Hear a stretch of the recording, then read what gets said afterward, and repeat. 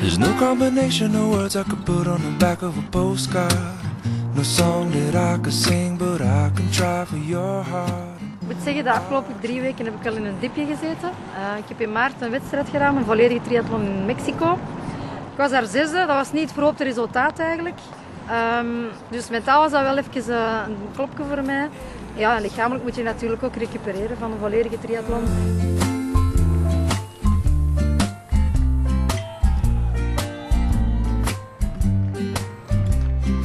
Is altijd enorm plezant om de termijns te lopen. Ik heb een paar keer gemist eh, omdat ik in het buitenland was, maar als ik er ben, dan doe ik die altijd mee.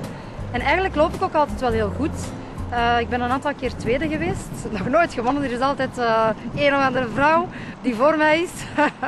altijd een andere. Maar ja, ik wil eigenlijk wel eens winnen. dat lijkt me wel leuk.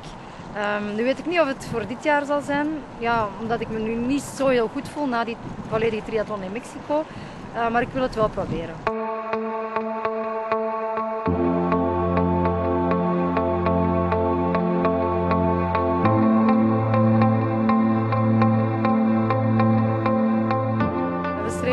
Om naar Hawaii te gaan uh, in oktober. Het wereldkampioenschap is dat.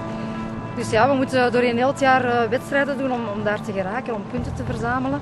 Dus ik uh, heb nog een aantal halve triathlons op het, op het, programma staan. En in juli dan een heel belangrijke volledige triathlon in Frankfurt. Ik heb toch nooit last van mijn rug. Ik ben al drie keer mislukt eigenlijk in Hawaii. twee keer opgegeven. Vorig jaar ben ik aangekomen. Maar daar is ook alles mee gezegd eigenlijk. Ehm, het was helemaal niet goed. Ja, het is toch uh, een heel zware wedstrijd voor mij.